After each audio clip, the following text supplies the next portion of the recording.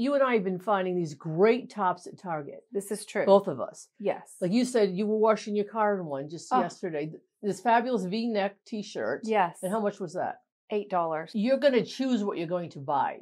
Absolutely. So you can buy a graphic T-shirt for eight dollars, True. or buy a T-shirt that looks great and fits you great for eight dollars. Right. So why don't you spend the eight dollars on a T-shirt that looks great on you? That's true. And so let's talk about the sleeve length from Fine versus Fabulous.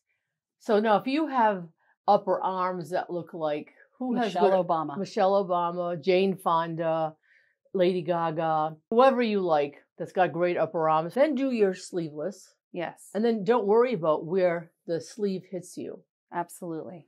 But if you buy that regular t shirt that just hits right here, It cuts you off at the widest part of your arm. yes, take a little time, find the right t shirt, not only the neckline. Jewel necklines are a round neckline like this, so it doesn't even open up your neck. So some people it looks like you have no neck at all. Mm. So this neckline is good because it lengthens this way. Right. It doesn't make me look like I have no neck here. It gives you that beautiful portrait. Style Yes. neckline. So look for the right neckline, look for the right sleeve length, Yes. and then the right length of your t-shirt. Right. A lot of people buy a bigger size t-shirt that goes over their rear end, but what it's doing is it's calling attention to your rear end. It sounds like all these things you have to be concerned about, but all you need to do is find it one time and then buy five or six colors of it. That's right.